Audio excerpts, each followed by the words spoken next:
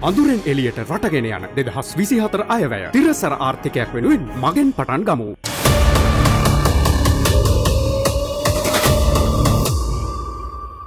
ඇ කිහිපයක් තිස්සේ ඉතාම දීර්ඝ විදිර සාකච්ඡා කරපු මධ්‍යම කාරක සභා රැස්වීමකින් පස්සේ මාධ්‍ය වෙත මධ්‍යම කාරක සභාව තීන්දු තීරණ දැනුම් දෙන්න තමයි මේ මාධ්‍ය හම්මු කැඳවල තියෙන්නේ.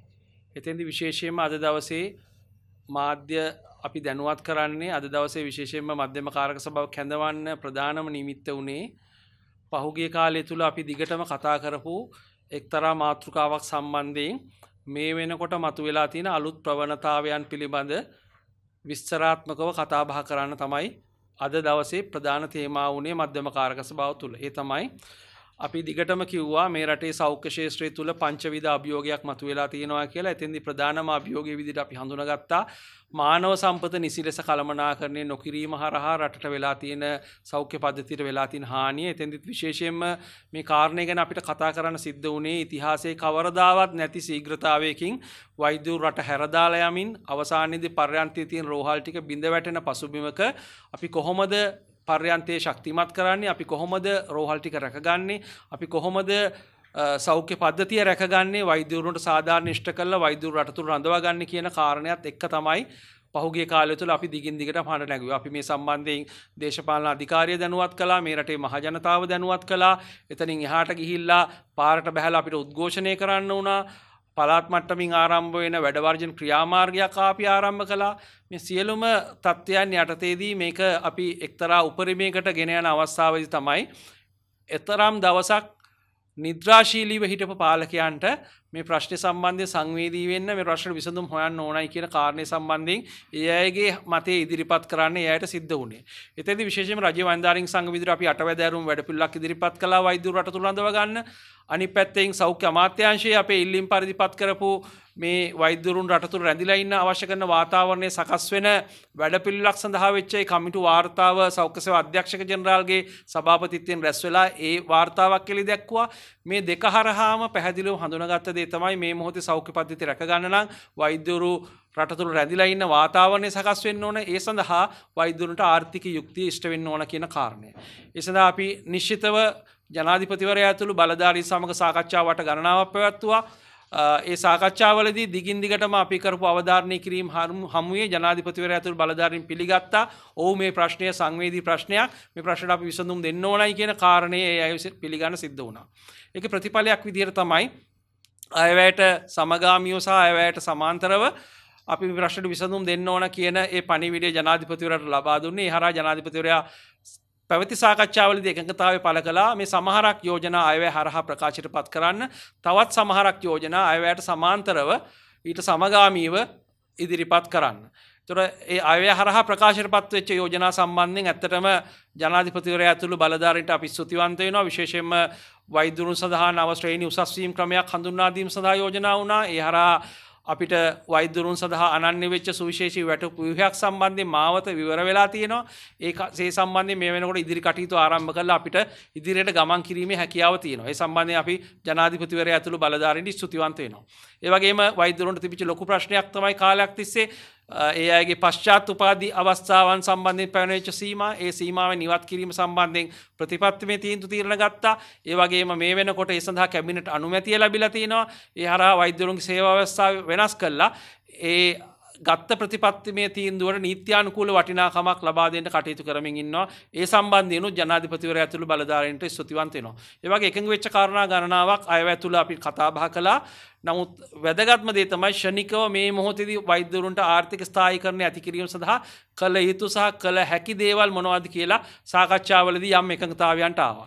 ඒතර ඒ එකඟතාවයන්ට ආපු දේවල් කෙටිකාලින විසඳුම් විදිහට ප්‍රකාශයට පත් කිරීම සඳහා අයවැයට සමාන්තරව අයවේ එෆෙක්ටව ඩේට් එකෙමනතම් බලාත්මක දිනය දෙදස් විසිත ජනවාරි පලවෙද ඒකට සමගාමියම විසිදුම් ඉදිරිපත් කිරීම සඳහා එකඟතාවයක් ඇති වෙලා තිබුණා. නමුත් අපිට මේ මොහොතෙදී පේන තියන දේ තමයි අය සම්මත වෙලා දැන් සති දෙක්කට ආසන්න කාලයක් ගත වෙලා තියෙනවා.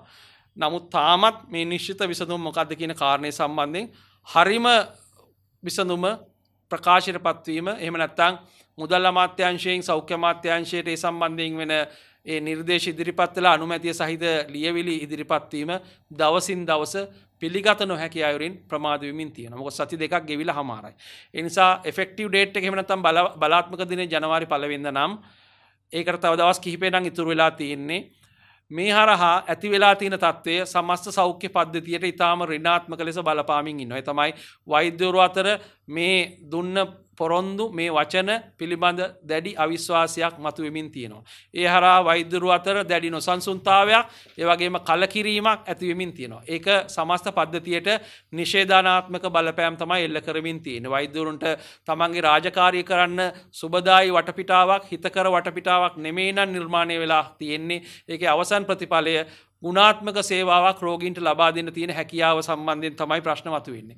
එහින්ද රජ වෛද්‍යරින් සංගම විදිහට දිගින් දිගටම ජනාධිපතිවරයාගේ පැත්තෙන් අපි මේ සම්බන්ධ සාකච්ඡා කලා ඒ සාකච්ඡාවලදී ඉතාම පැහැදිලිව ජනාධිපතිවරයාගේ පැත්තෙන් ජනාධිපතිතුමාගේ තියෙන මේ සම්බන්ධ තියෙන කමිට්මන්ට් එහෙම නැත්නම් ඒ ජනාධිපතිවරයාගේ තියෙන නැඹුරුව අවශ්‍යතාවය දිගටම අපිට අවධාරණය කරලා තියෙනවා. මේ රටේ මුල් පුරවැසියා විදියට ජනාධිපතිවරයා වචනයක් දුන්නාම ඒ වචනේ තනතුරේ ගෞරවය අපි ආරක්ෂා වෙන විදිහට කටයුතු කරමින් ඒ ඒ වචන ඉෂ්ට කිරීම සිද්ධ වෙනවයි කියන එක තමයි අපිට තියෙන බලාපොරොත්තුව.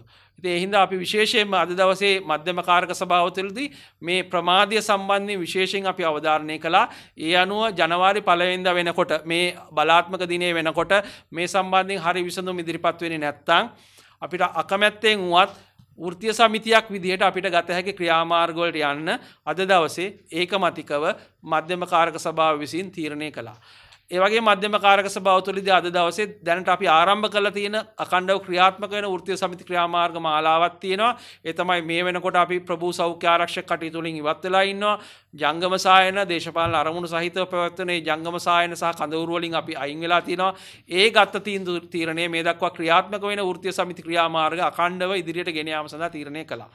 ඒවගේම තමයි මේ සම්බන්ධයෙන් අපිට ජනාධිපතිවරයට ලිකිතව කරුණු දක්වල අද දවස අපි ලිකිතව ජනාධිපතිවරයා වෙත මේ වෛද්‍යරුන් අතර පැනනගිල තින් නොසන්සුන්තාවය ඒවගේම මේ සමහර මුදල් අමාත්‍යංශය නිලධාරීන් හරහා කියවෙන පනිවිඩ ඒ අයගෙන් එන සමහර තොරතුරු හරහා එන නිෂේධාත්මක රිනාත්මක පනිවිඩ. අපි ඉතාම බැරෑරුම් ලෙස සලකනවයි කියන කාරණය සම්බන්ධය විශෂම නිලධාරිවාදය උපරිමේම ක්‍රියාත්මකොත් වන අවස්ථාවක් අපි දකින ජනාධිපතිවර නියෝග කල්ල තියෙද්දිත් මේක කරන්න කියලා තාමත් මේ අවශ්‍ය කරන උපදෙස් නිකුත් නොවීම හරහා මුදල් අමාත්‍යංශය පිළිබඳ බරපතල සැකසංකා මේ වෙනකොට වෛද්‍යරු අතර මතුවමින් තියෙනවා. එනිසා ඒ සියලුම තත්ත්වයන් සැලකිල්ලට අරගෙන අපි ජනාධිපතිවරයාගේ ඉල්ලීමක් කරනවා. දුන්න වචන ඉෂ්ට කිරීම සඳහා අවශ්‍ය කරන මැදිහත්වීම කරන්න. ඒවගේ මුදල් අමාත්‍යංශය තුළ මේ අවහිර කිරීම යම් උත්සාහයක් තියෙනවා ජනාධිපතිවරයා විදිහට එතෙන්ට මැදිහත් වෙලා උත්සාහය පරාජය කිරීමට කටයුතු කරන්න කියලා. ඒ සඳහා වන ලිකිත ඉල්ලීම අද දවසේ ලිකිතව ලිපියක් මගින් අපි ජනාධිපතිවරට ඉදිරිපත් කරනවා. තුන්ගනි කාරණය විදිහට වැඩවර්ජන ක්‍රියාමාර්ග ඇතුළුව ජනවාරි පලවෙන්ද ඉදම් මේ ක්‍රියාත්මක වුන් නැත්තං මේ සම්බන්ධයෙන් නිශ්චිත විසඳුම් ඉදිරිපත් වුන් නැත්තං ජනවාරි පලවෙන්දයින් පස්සේ එළඹෙන ඕනෑම දිනයක නැවත දැනුන්දීමකින් තොරව අපි ක්‍රියාත්මක කරන වැඩවර්ජන ඇතුළු වෘතය සමිති ක්‍රියාමාර්ග ක්‍රියාත්ම කරන්න ඒ සම්බන්ධයෙන් අදාළ බලධාරින් දැනුවත් කරන්න. අද දවසේ මධ්‍යම කාරක සභාව තීරණය කළා. ඒ අනුව ජනවාරි පලවෙනි සතිය ඉතාම තීරණාත්මක සතියක් බවට පත්වේවි. ඒ සතිය තුළ මේ සම්බන්ධයෙන් ඉදිරිපත් වෙලා තියෙන ලියකේවි ලෙස සියල්ල මධ්‍යම කාරක සභාව බලය පැවරුව විදායක සභාවට ඒ සියල්ල අධ්‍යයනය කරලා අවශ්‍ය තේන්දු තීරණ ප්‍රකාශයට පත් කරන්න. නිසා විශේෂම මේ මොහොතෙත් ෘතිය කාණ්ඩයක් විදිර ඉතාම දැඩි වගකීමෙන් ඒ වගේම දැඩි ඉවසීමෙන් මේ ප්‍රශ්නයට විසඳුම් ගැනීම සඳහා ජනාධිපතිවරයාගේ ඇති අභිලාශය ප්‍රකාශ කරලා තියෙන මොහොතක ඒ දුන්න වචනවලට අනුව මේ විසඳුම් වහාම ප්‍රකාශයට පත්වේ කියලා අපේක්ෂා කරනවා. නමුත් ඒ තත්ත්වය නිවැරදිවෙන් නැත්තං ඒ අපි අපේක්ෂා කරන මට්ටමට යන්න නැත්තං අකමැත්තෙන් වුණත් නැවත අපි නතර කරපු තැනින් ආරම්භ වන දැඩි වෘතිය සමිති ක්‍රියාමාර්ගවලට යන්න විදායක සභා විදිහට ඉදිරියේදී තීන්දුවක් ප්‍රකාශයට පත් කරන්න නියමිතයි කියන එක අවධාරණය කරන්න ඕන. බොහොම ස්තුතියි. තවමකුත් ප්‍රශ්නමකුත් තියෙනවා මොකද මම